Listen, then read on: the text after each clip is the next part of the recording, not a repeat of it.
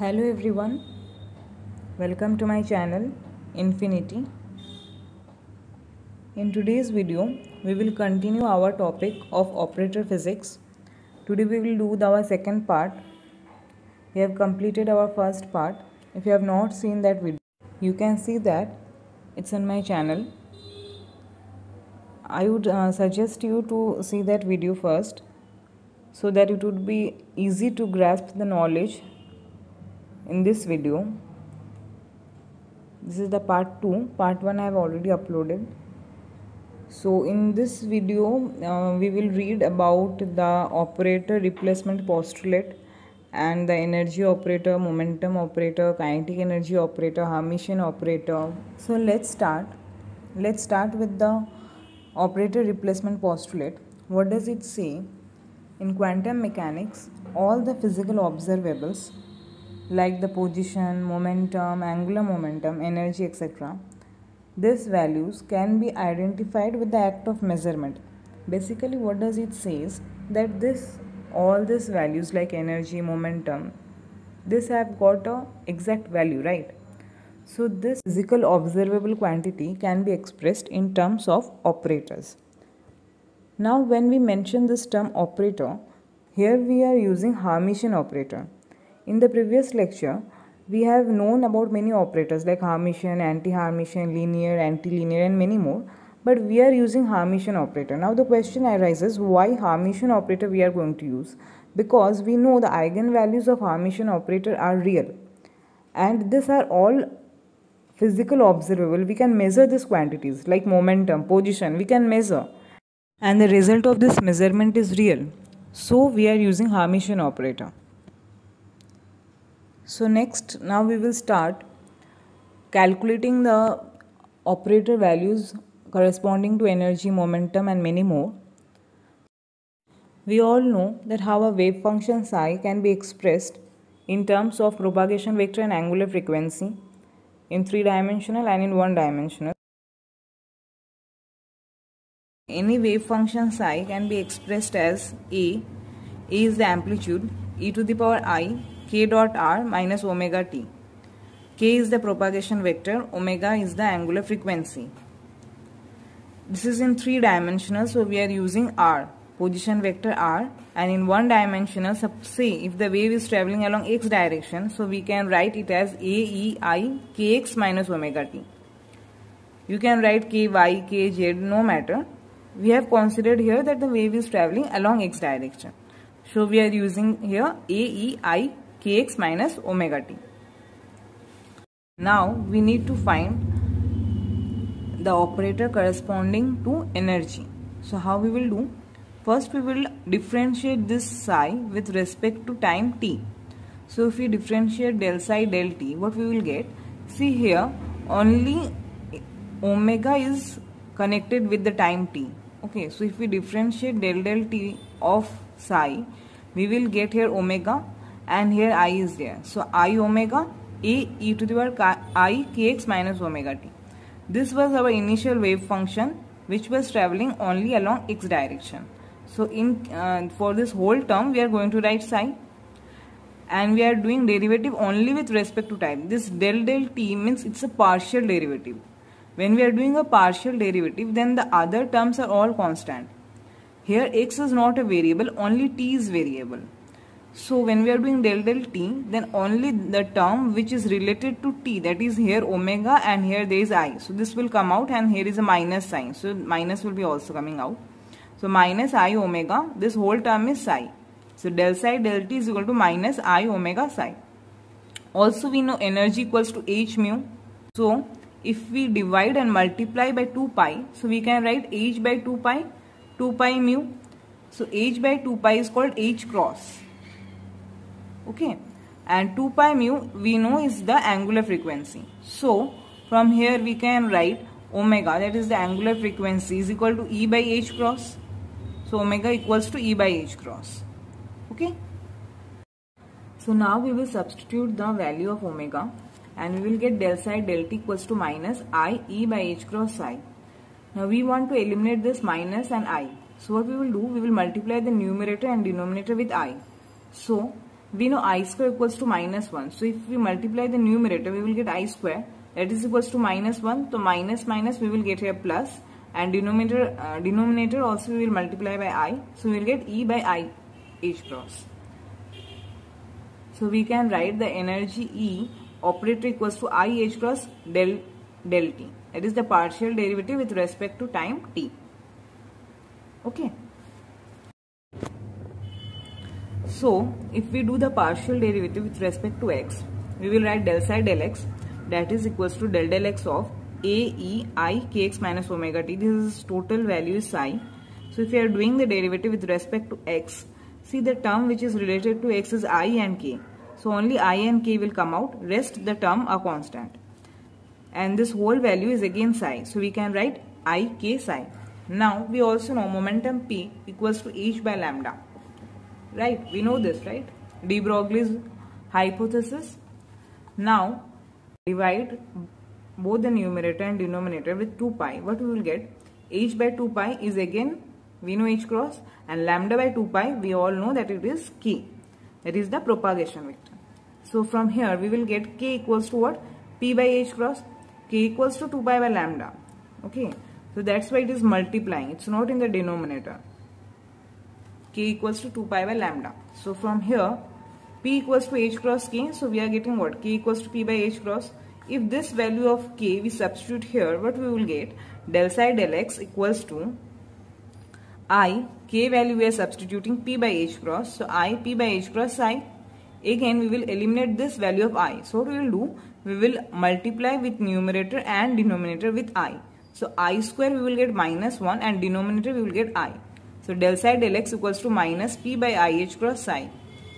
So from here we can say that p psi equals to minus i h cross del psi del x. Right? Can we say this? See nothing only we have this we have multiplied with this then we can write minus of i h cross del psi del x and here we are getting p psi. Fine. Now this is derivative with respect to x. So we can say this is the x component of momentum. Fine. So for the y component of momentum, we will write minus i h cross del del y. And for the z component, we write pz minus i h cross del del z. For the z component, we can say pz equals to minus i h cross del del z.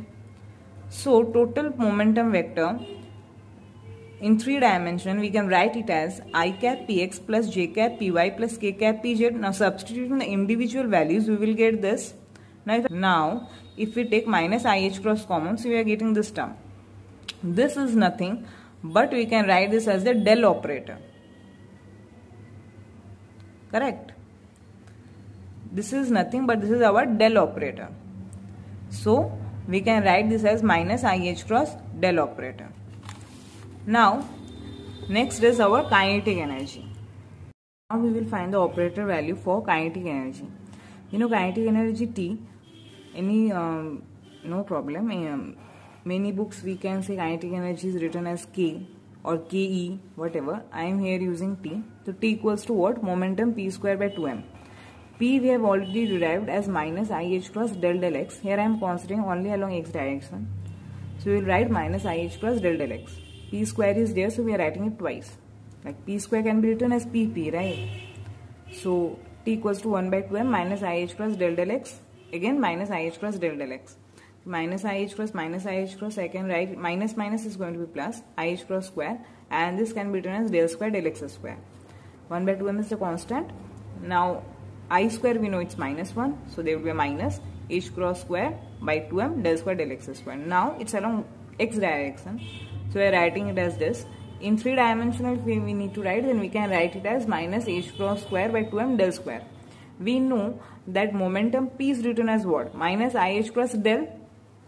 If momentum p in three dimensional if it is written as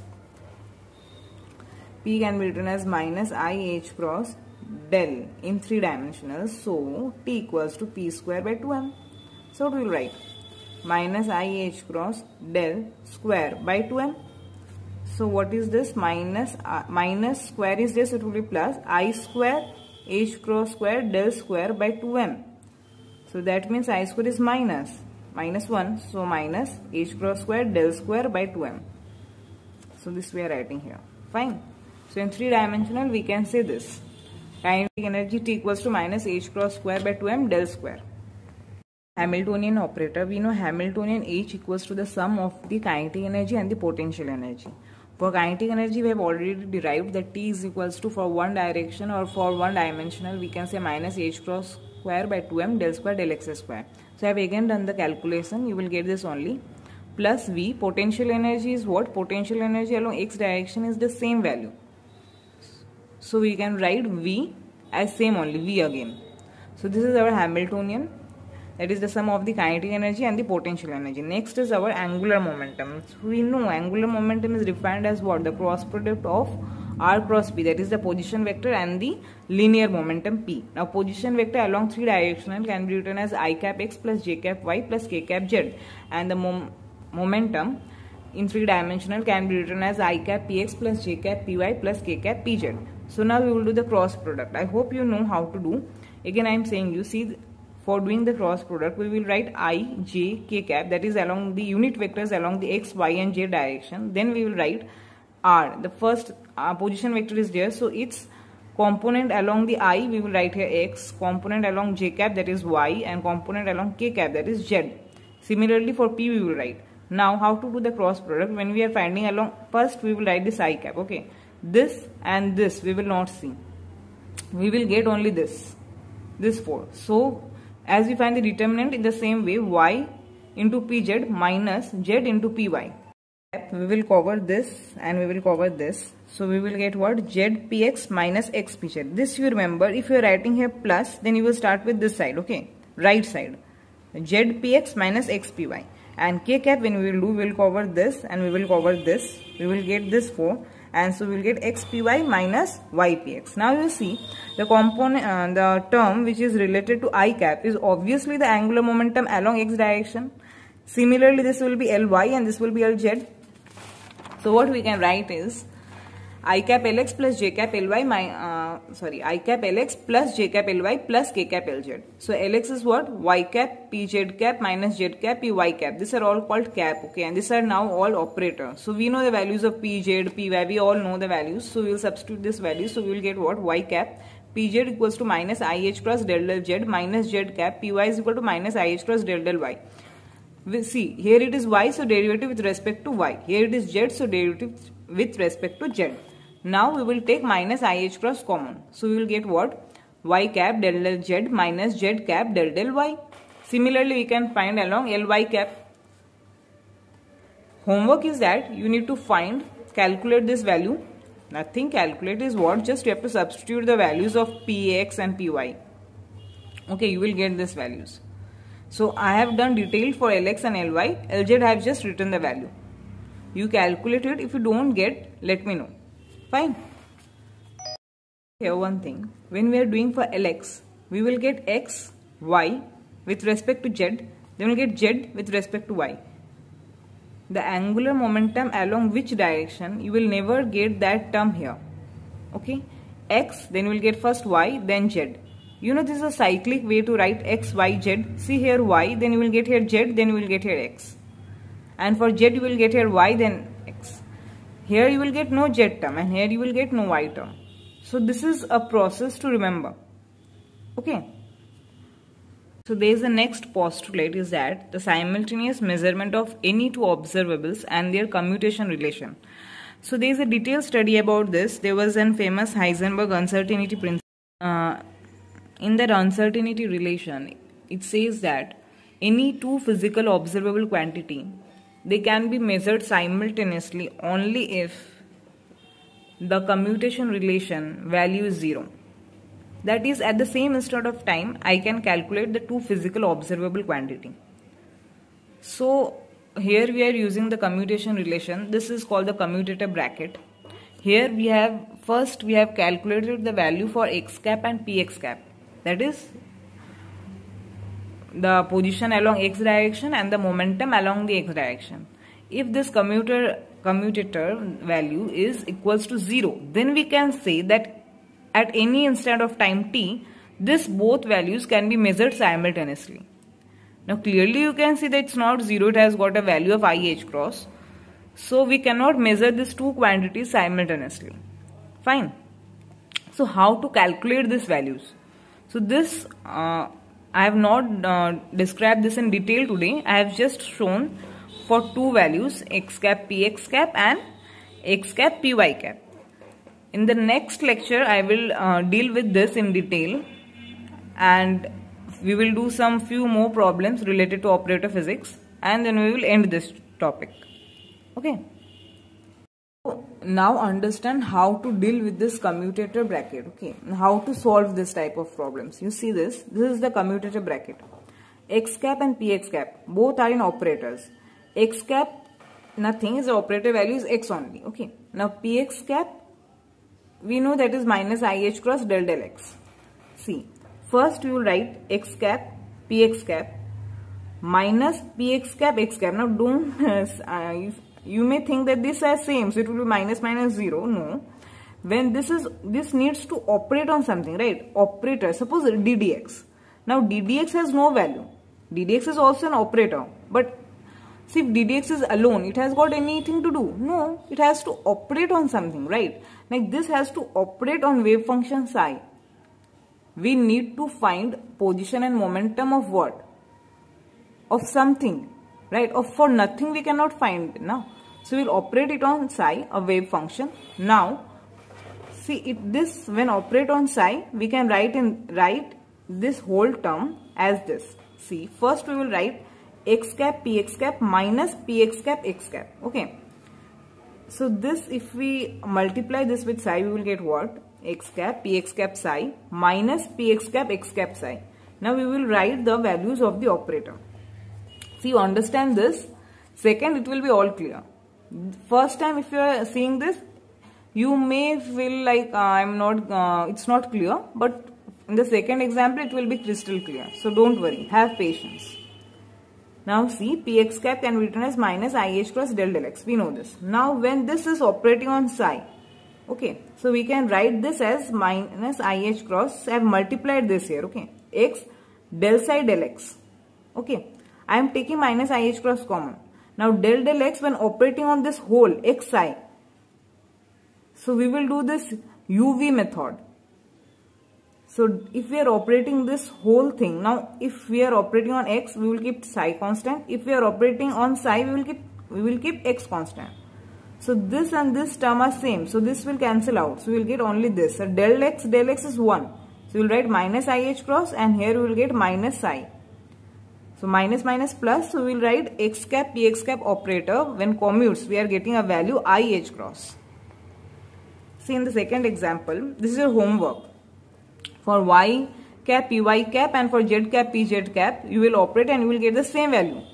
So this is the homework. You send me the solution in the telegram group okay and if there is any problem uh, please comment and let me know for the second example let's see x cap py cap. X cap again x cap py cap needs to operate on something right? So it's operating on psi we will get this value. First we will write in this what is the order given? We will write this x py cap minus py cap x cap okay? Py cap we will substitute the values of the operator. X cap operator is value is x only. So minus IH cross, I am taking IH cross common, I am multiplying this inside. So see when you are multiplying this from the left hand side, no problem. But when you are multiplying this derivative whole thing on this, so this we cannot write, see you are multiplying this with the left hand side. So you can write this way. But this is on the right hand side this derivative del del y is operating on these two functions simultaneously so here we have to derivate it with respect to x once with respect to psi once when we are derivating with respect to x once then psi is constant. When we are derivating with respect to psi then x cap is constant. See x cap del x del y and this x cap del x uh, del psi del y x cap del psi del y these two terms are same. So we will cancel this term. And see this is the partial derivative of x with respect to y see when we are doing a partial derivative then only the terms which are related to y these terms are useful. We are going to get values for only the terms which are dependent on y. But x cap is not dependent on y. So here we will get the value 0. So the moral of the story is what? When any position vector, the any uh, position vector along any direction, suppose x cap, when it commutes with the momentum along different direction, that is py cap or pz cap, we will get the value 0 and when both position and the momentum is along the same direction we are getting a value IH cross. That means that these two cannot be measured simultaneously. But if the position is along x cap and we need to find the momentum along the y cap then we can measure these two simultaneously. And the commutator value is 0 so today we will end here in the next class we will complete this. Operator physics is basically completed. A little thing is left. We will do sums. And little more we will work we will play with this commutation and we will get to know something more about Heisenberg's uncertainty principle. There are some more postulates. We will learn about that. So today we will end here. Keep studying. Make your parents proud. And thanks for watching 拜拜。